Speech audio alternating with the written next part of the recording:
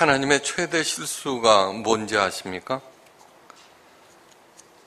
그것은 아담과 이브를 유대인으로 만들었다는 것입니다. 아담과 이브가 만약에 한국 사람이었다면 누구보다도 에덴 동산을 잘 지켰을 것입니다. 뱀이 자기가 뭐라고 유혹해도 얼른 잡아서 몸보신을 했을 것이고 에덴 동산에는 그 어떤 뱀도 남아있지 않았을 것입니다. 그죠? 네. 성경에서 사탄을 뱀이라고 부르고 있습니다. 이 사탄이라고 하는 존재가 정말 조, 있는 것일까 아니면 허구의 존재일까요? 이 사탄에 대한 대단히 잘못된 두 가지 태도가 있습니다. 첫째는 사탄의 존재를 부인하는 태도입니다. 그건 허구의 존재야. 그딴 게 있을 수 있어. 21세기에 무슨 사탄이니 귀신이니 그런 소리를 해. 예. 그렇게 무관심하면은 사탄은 마음 놓고 활개를 쳐서 자신도 모르는 사이에 사탄에게 놀아납니다. 이 사탄은 인간보다 훨씬 더 간교한 존재입니다. 둘째로 사탄이나 귀신에 대한 과도한 관심, 그 또한 잘못된 것입니다. 그런 존재가 정말 있는 것 같아. 예, 그러면서 사주팔자니, 귀신 축출이니, 빙의니, 점괘니, 무당이니, 점, 오늘의 운세, 뭐 그런 것들에 관심을 보입니다. 그리고는 그들을 신봉하고 두려움의 삶을 스스로 위축시켜 버립니다. 이것은 제 발로 사탄의 수하로 들어가는 것입니다. 사탄의 존재에 대해서 가장 정확하게 20세기 언어로 밝힌 사람이 바로 스카펙 박사입니다. 이 스카펙 박사는 아주 따뜻하고 국률함이 가득한 정신과 의사입니다. 그래서 사람들을 불쌍히 여겨서 어떻게든지 어, 낫게 하려고 애를 써서 많은 사람들을 빛으로 인도하였습니다. 그런데 찰린이라고 하는 여자 환자를 계기로 그는 사탄에 대해서 관심을 갖게 됩니다. 별로 심각한 증상이 없는 찰리는 여러 해 걸친 치료에도 불구하고 증상이 조금도 호전되지를 않았습니다. 어느 날 찰린의 배후에 눈으로는 볼 수 없는 거대한 어떤 존재가 찰린을 소나기에 사로잡고 자신 스카펙 박사 자신을 농락하고 있다는 그런 낌새를 챕니다. 그날 이후로 스카펙 박사는 사탄, 악, 막귀, 악령 축출 등 종교와 문화를 망라하여서 악에 대해서 연구를 시작합니다. 그러다가 귀신을 축출하는 한 기도 단체에서 굉장히 놀라운 광경을 목도하게 됩니다. 예수님께서 기도 외에는 이런 류가 나갈 수 없느니라고 하셨는데 그 말씀에 따라서 오직 기도로 악령을 축출하는 그곳에서 마침내 한 남자의 몸속에 자리 잡은 악령이 정체를 드러냅니다. 그때 상황을 스카백 박사는 그의 책 거짓의 사람들에서 여러분들에게 거짓의 사람들 꼭 읽어보시기를 강추합니다. 이렇게 서술합니다. 귀신이 분명히 말을 하게 되자 그 환자의 얼굴에는 사탄적인 것이라고 밖에는 표현할 수 없는 표정이 나타났다. 믿겨지지 않는 경멸적인 웃음과 극도의 저기와 악의가 가득 찬 표정이었다. 겨울잠에서 깨어난 파충류의 눈처럼 둔탁스럽게 감겨 있다가 먹이를 잡기 위해 달겨들 때처럼 느닷없이 증오의 시선과 함께 번쩍 떠지곤 하였다. 모든 이들을 기겁하게 만드는 완전히 낯설고 비인간적인 존재였다. 그 영은 절대적으로 시종일관 인간의 생명과 성장을 거스르는 일에 자신을 헌신하고 있었다. 한 번은 우리가 그것에게 왜 그리스도를 반대하느냐고 묻자 이렇게 대답했다. 예수 그리스도는 사람들에게 서로 사랑하라고 가르치기 때문이지. 나는 사람들이 바쁘게 일하기를 원해. 그래야 싸우게 되니까. 계속 더 물으려 하자 그것은 축사자에게 한마디로 잘라 말했다. 너도 죽여버리고 싶어. 그것에게는 창조적이거나 건설적인 것이라고는 눈꼽만큼도 없었다. 완전한 파괴성 그 자체였다. 그날 이후 스카펙 박사는 마흔이 넘어서 세례를 받고 그리스도인이 되었고 나머지 생애를 악을 규명하고 악과 싸우는 일에 헌신하다가 한 재작년에 하늘나라로 갔습니다. 성경은 이 사탄의 기원에 대하여 아주 간단하게 언급할 뿐입니다. 사탄의 몇 가지 명칭과 행태들이 기록되어 있을 뿐입니다. 이것은 올바른 태도라고 하는 것은 사탄의 존재를 확실히 인정하면서도 동시에 과도한 관심을 경계하는 것입니다. 성경에서 말하는 바로 충분하다는 것입니다. 이미 지난 시간에 이사야서 14장 12절 이하의 말씀으로 그 사탄의 기원과 본질에 대해서 말씀드렸습니다. 너 아침의 아들 계명성이여 어찌 그리 하늘에 떨어졌으며 너 열국을 엎은 자여 어찌 그리 땅이 지켰는고? 내가 내 마음에 이르기를 내가 하늘에 올라 하나님의 무별 위에 나의 보좌를 높이리라. 내가 북극 지폐의 산 위에 좌정하리라. 가장 높은 구름에 올라 지극히 높은 자와 비길이라 하도다 이 사탄의 의도는 아주 단순합니다 끝도 없이 자기 자신을 높이려는 것입니다. 모든 것을 자신의 발 아래 두기 위해서는 모든 수단과 방법을 동원하여서 상대방을 파괴해야만 합니다. 그래서 완벽한 파괴성 그 자체만 남을 수밖에 없습니다. 성경에 기록된 사탄의 명칭들은 사탄의 그 정체와 본질을 폭로하고 있습니다. 계시록 12장 10절 밤낮 참소하는 자 참소라고 하는 것은 남의 약점이나 잘못을 들춰내서 고자리 하는 것을 말합니다. 그렇게 남을 파괴합니다. 정말 무서운 것은 뭐냐 그러면 자기 자신을 스스로 참소하는 것입니다. 나는 어쩔 수 없이 시시한 존재야.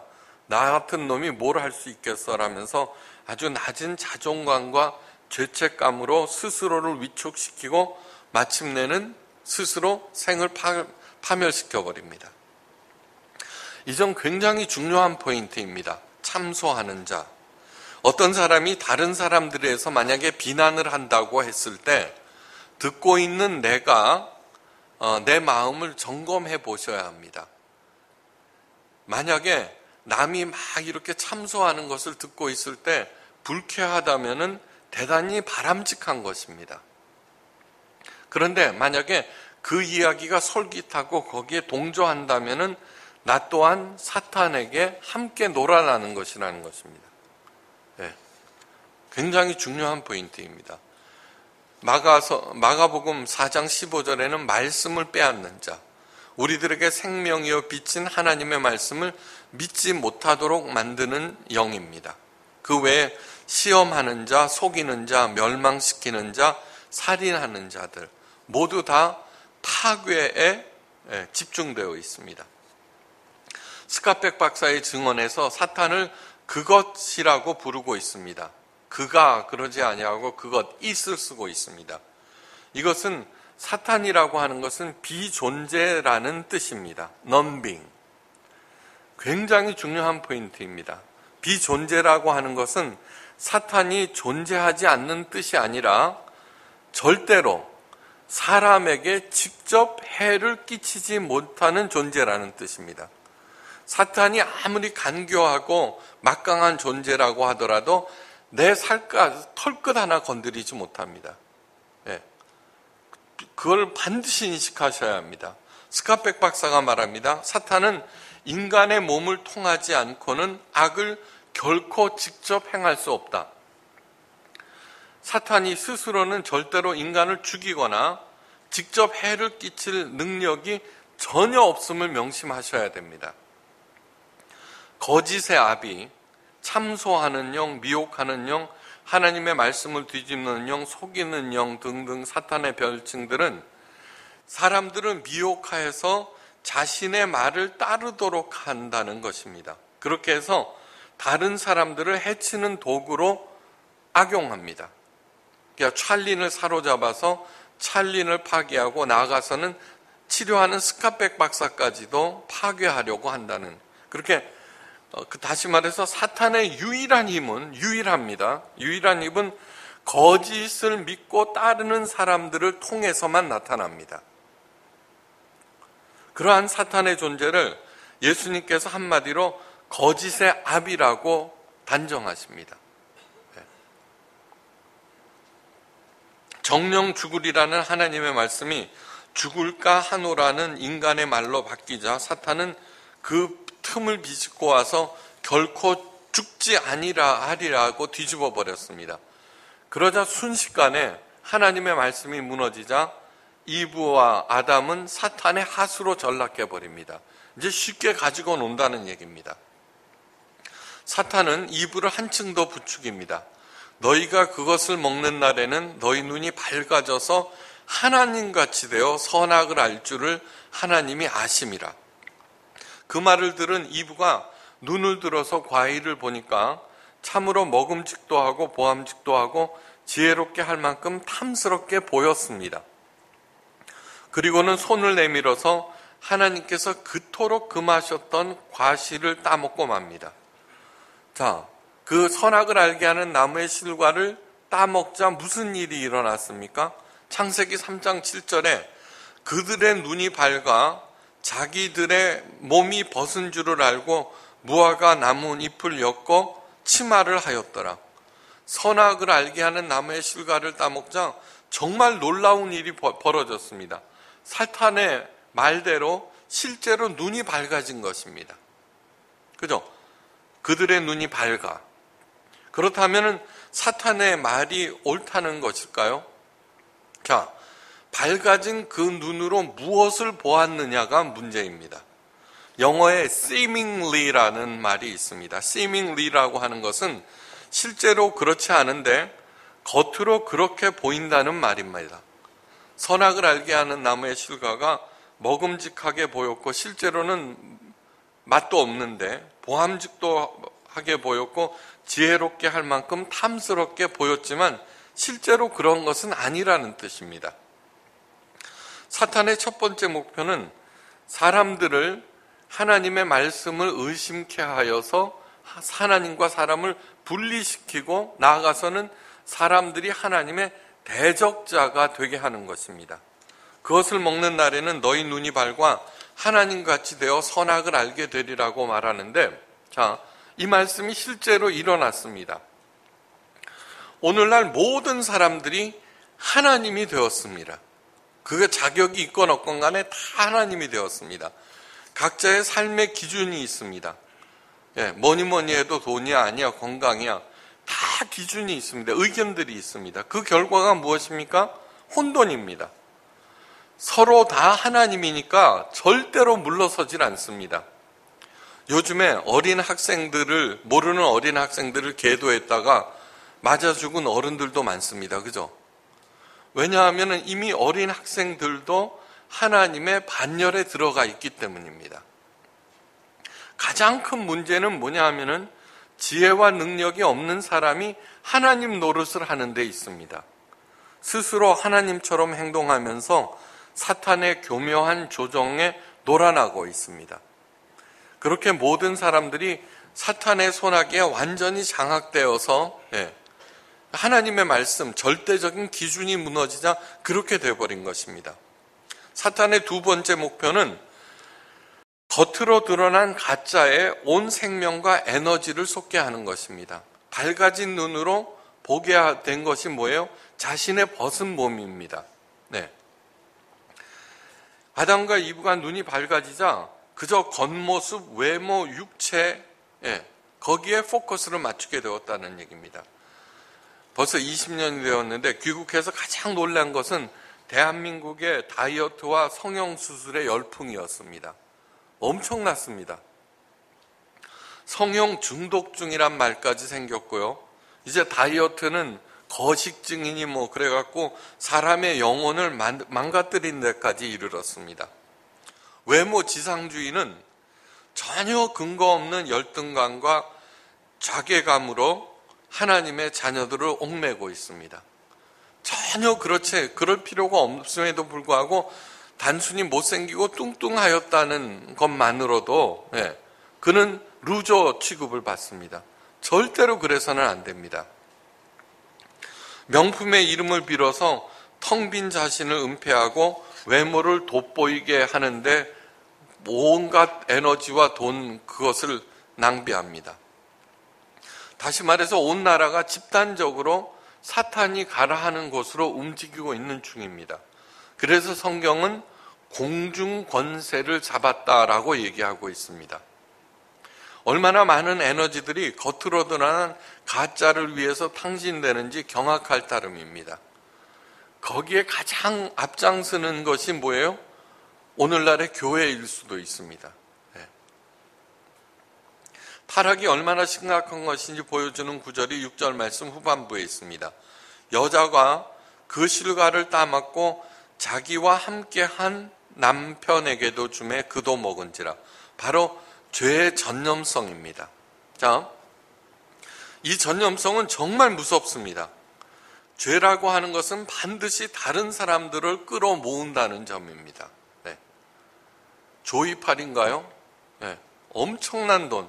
네. 서, 죄가 죄를 낳고 죄를 낳고 그래서 많은 사람들이 거기에 엮어들었습니다. 그 사람만 나쁜 것이 아닙니다. 일확천금을 꿈꿨던 많은 사람들이 거기에 빠져들어갑니다. 영원히 병든 부모는 자녀도 병들게 하고 남편은 아내를 아내는 남편을 예, 병든 목사는 교회를 병든게 합니다. 네. 바로 죄의 전념성입니다. 이것을 성경은 원죄라고 부릅니다. 성경은 죄를 누룩에 비유하고 있는데 한 숟갈의 누룩이 누룩 전체를 변질시켜 버립니다. 아무리 사소한 죄라고 할지라도 더 깊은 수렁에 빠져버리는 것은 필연이고 정해진 수순입니다. 그렇게 함으로써 점점 점점 하나님과 멀어집니다. 죄라고 하는 것을 하마르티아라고 하는데 하마르티아의 원래 뜻은 관역에서 빗나가다는 뜻입니다. 네. 그러니까 내가 나쁜 짓을 했느냐 안 했느냐 여러분 굉장히 중요합니다. 그것이 문제가 아닙니다.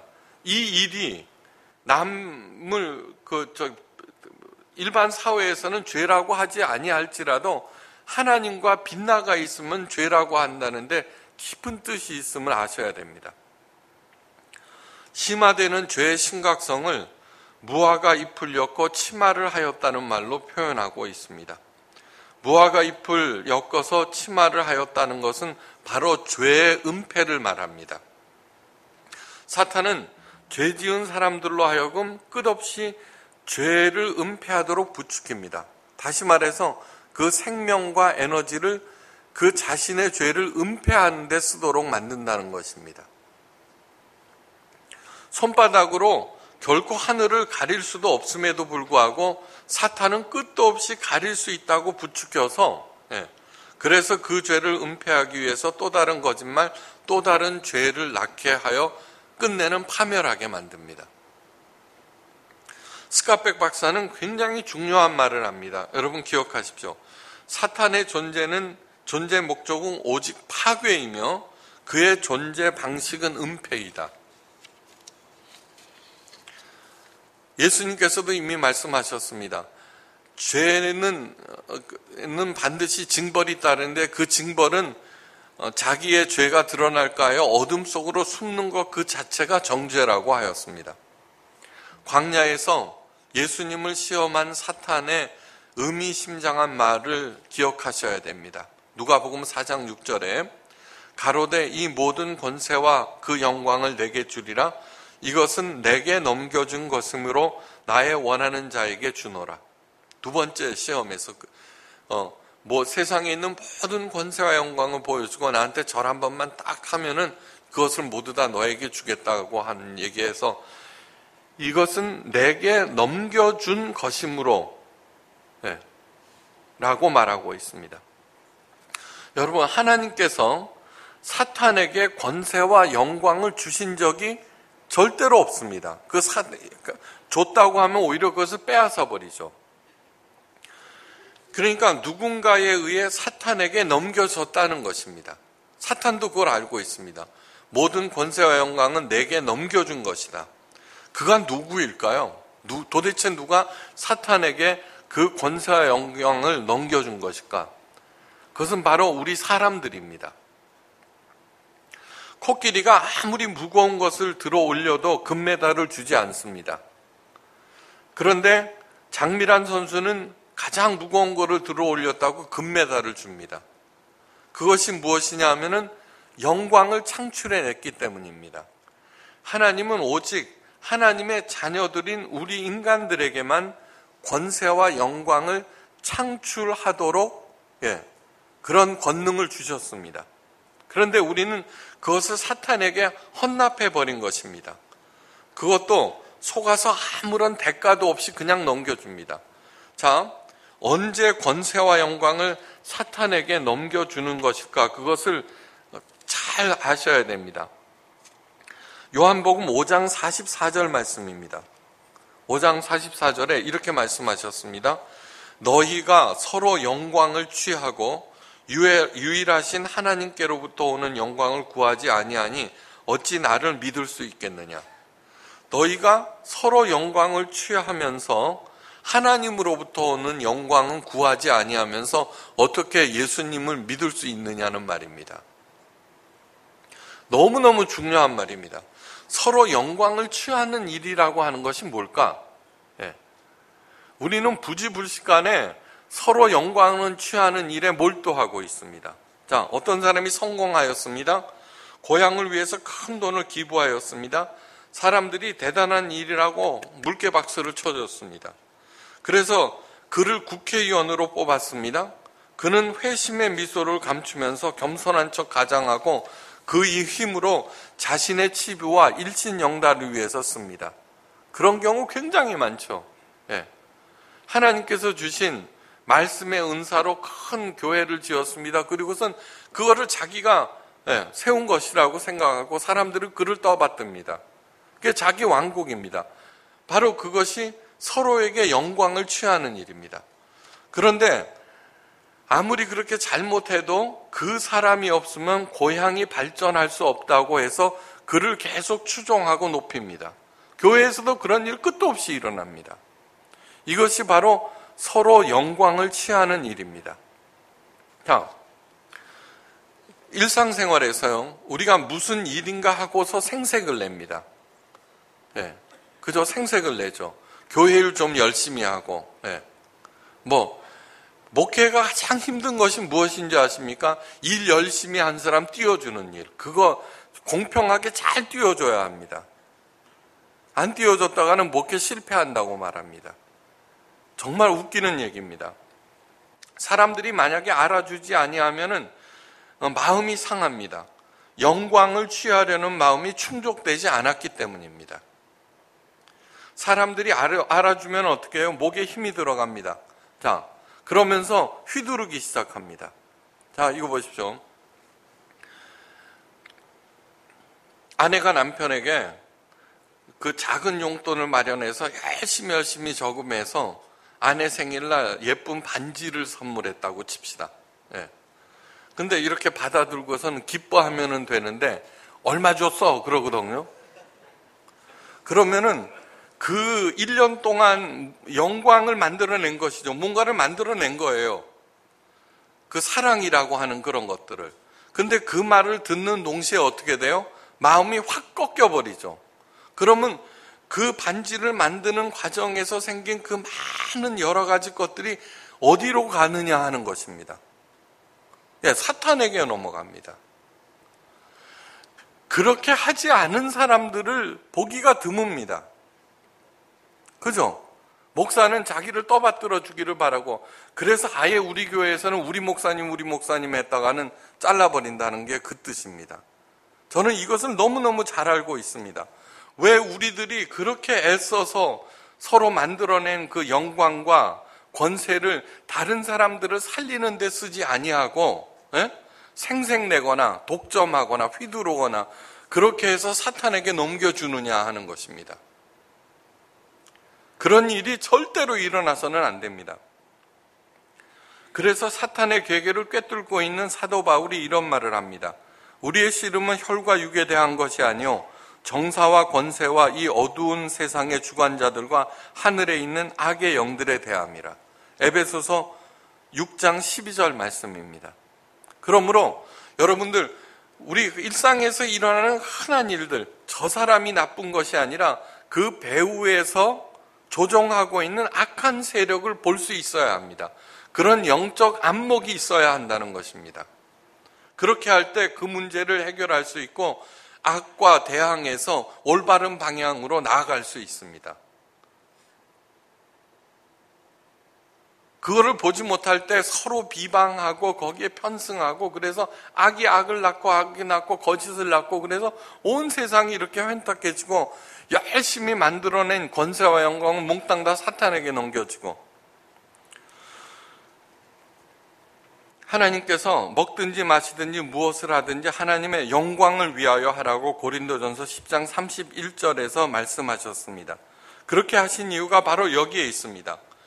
하나님의 영광을 위해서 우리가 살아갈 때 사탄에게 넘겨준 권세와 영광을 비로소 되찾을 수 있습니다. 하나님은 절대로 우리의 충성과 우리의 사랑이 필요치 않는 분입니다. 자존하시는 분입니다. 그럼에도 불구하고 네가 먹든지 마시든지 무슨 일을 하든지 나의 영광을 위하여 하라는 그 명령을 내리신 이유는 우리가 그런 마음으로 할 때, 예, 그런 마음으로 할 때 나와 하나님 사이를 사탄이 비집고 들어오지 못합니다. 여러분, 오른손이 한 일을 왼손이 모르게 하라고 했는데 바보입니까? 다 압니다. 그런데 유일하게 딱 하나 오른손이 한 일을 왼손이 모를 때가 있습니다. 그것은 뭐냐 그러면 선한 일을 하는 힘도 능력도 그 마음도 모두 다 하나님께서 주셨다는 것을 감사할 때 있죠. 절대로 왼손 내가 내 왼손이 모릅니다. 정말 매일매일 은혜요 사랑이라고 하는 것입니다. 그래서 절대로 생색내서는 안 됩니다. 그래서 자기를 알아, 목사가 자기를 알아주지 않는다고 그래서 교회를 떠난 사람들 우리 교회에도 굉장히 많습니다. 제가 우리 교회에서 군림하지 않는 이유는 바로 이 훌륭한 어, 주의 몸된 교회의 그 권세와 영광이 아, 사탄에게 넘어가지 않게 하기 위해서입니다. 그러니까 여러분들도 늘 감사한 마음으로 모든 것은 한 주께서 내게 주신 은혜로 말미암습니다. 라는 마음으로 행할 때 은혜 위에 은혜가 더 쌓여지게 된 것입니다. 하나님은 중심을 향하라 하지만 사탄은 겉껍데기 외모를 치중하게 하고 하나님은 속사람이 변화되기를 원하시는데 사탄은 겉사람을 꾸미고 위장하라고 부추깁니다. 하나님은 영혼의 건강에 관심을 가지라고 하는데 사탄은 육체의 건강, 뭐니 뭐니 해도 돈이 최고야 라고 가르칩니다. 하나님께서는 고난 속으로 가라고 하시는데 그런데 사탄은 편안함만을 추구하라고 합니다. 하나님은 낮아지라고 하시는데 사탄은 높아지라고 합니다. 예. 사탄의 말에 따르면 끝내 악한 일을 하다가 나도 모르는 사이에 사탄과 더불어서 무적행에 던져집니다. 그러나 하나님의 말씀을 따를 때 절대로 사탄의 계기에 놀아나지 않고 사탄이 나를 절대로 어떻게 하지 못합니다. 털끝 하나 건드릴 수 없습니다. 마침내 예수님과 더불어서 그 찬란한 하나님의 영광에 들어가게 됩니다. 요한계시록 3장 21절 이기는 자에게는 나 역시 이긴 뒤에 내 아버지와 함께 그분의 왕자에 앉게 된 것과 같이 나와 함께 내 왕자에 앉는 것을 허락하리라. 이 귀한 허락을 기쁨으로 받는 여러분들이 되시기를 주의 이름으로 축원합니다. 우리들에게 말씀을 주셔서 눈에 보이지 않는 악한 영 사탄을 보게 하시고 그의 괴기에 노란하지 않게 하심을 진심으로 감사합니다. 하나님께서 우리를 사랑하셔서 우리에게 주신 그 자유 의지와 수많은 재능들 나를 빛내고 나를 내세우고 높아지는 데 쓰지 아니하고 하나님의 영광을 위하여 쓸 때 나를 통하여 죽은 모든 것들이 다 살아나고 저절로 하나님께서 나를 높이는 그 기쁨에 들어가는 모두가 되게 하옵소서. 다시 한번 머리 숙여 감사하며 모든 말씀 예수 그리스도의 이름으로 간절히 기도하옵나이다. 아멘.